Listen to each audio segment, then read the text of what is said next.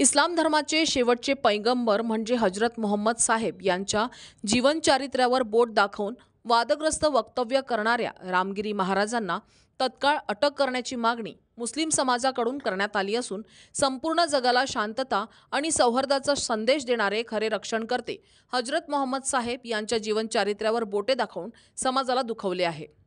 मुस्लिम समाज अमाराते शरिया हलका बोर्ली पंचतनच्या वतीनं दिनांक एकोणतीस ऑगस्ट दोन हजार चोवीस रोजी सायंकाळी पाच वाजताच्या सुमारास दिघी सागरी बोर्ली पंचतन पोलीस ठाण्याचे सहाय्यक पोलीस निरीक्षक हनुमंत शिंदे यांना या प्रकरणी एकोणवीस गाव कमिटीनं मुस्लिम समाजाच्या वतीनं रामगिरी महाराज यांच्या विरोधात कायदेशीर कारवाई करावी अशी विनंती निवेदनाच्या माध्यमातून केली आहे.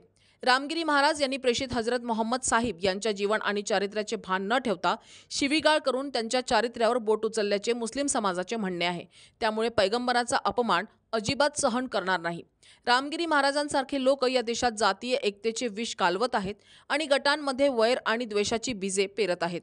देशाची शांतता भंग करण्याच्या उद्देशानं जाणीवपूर्वक अपमानास्पद शब्द वापरून ते समाजात उन्माद निर्माण करत आहेत.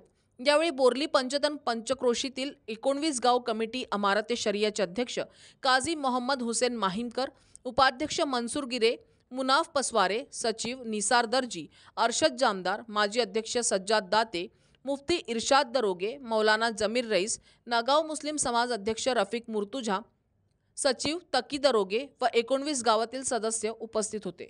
में। आज हम लोग अमर के शरिया, आलिया हल्का बोरली पंजतन, जो हमारे बोरली, दिघी और मेंदरी के जो जितनी भी बस्तियाँ हैं, उन्नीस गाँव, उसकी तंजीम के जितने नुमाइंदे हैं, वो यहाँ पर आए हुए हैं बोरली, दिघी सागरी पुलिस स्टेशन में। हुआ और बिल्कुल हमत मसला से हुआ क्योंकि हज़रत आयशा फ्रेश थी तो उनके ताल्लुक से यानी इस्लाम की तालीम बहुत अच्छे तरीके से अमन का पैगाम पूरी दुनिया में अच्छे तरीके से फैला है। आज हमने यहाँ पर निवेदन करके यही बात की कि यहाँ से आला अधिकारियों तक ये बात जाए और आइंदा चलकर हजूर पाक वसल्लम की शान में इस तरीके से कोई गुस्ताखी न हो।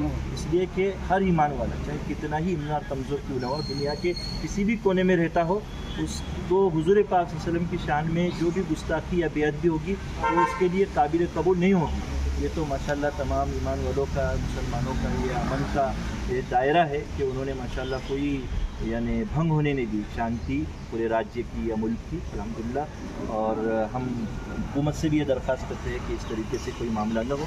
इसलिए हम लोग निवेदन देने के लिए हैं, निवेदन स्वीकारा भी गया और उम्मीद है कि आला अधिकारियों तक ये बात पहुँचेगी और जिन्होंने कहा है उन पर सख्त से सख्त कार्रवाई हो। ये हमारी तमाम की दरख्वास्त तमन्ना है।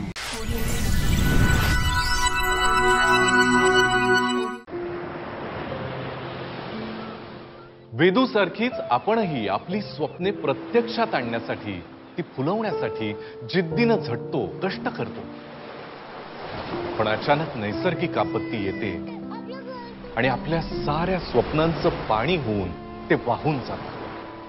अशा अस्मानी संकटांनी महाराष्ट्रात अनेकांचं अतोनात नुकसान झालं. स्वप्नांबरोबर अनेकांची आयुष्य उद्ध्वस्त झाली. मात्र शासनानं आपुलकीनं त्यांना धीर दिला भक्कम आधार दिला. केंद्रीय निकषापेक्षाही अधिक मदत केली. लाखांहून जास्त शेतकऱ्यांच्या खात्यात पंचवीस टक्के अग्रिम रक्कम जमा केली. आपत्तीग्रस्तांच्या आयुष्यात पुन्हा नवी उमेद जागवून आनंद निर्माण केला. मदतीतून नवजीवन आनंदाचे पुनर्वसन. आपत्ती व्यवस्थापन मदत व पुनर्वसन विभाग महाराष्ट्र शासन.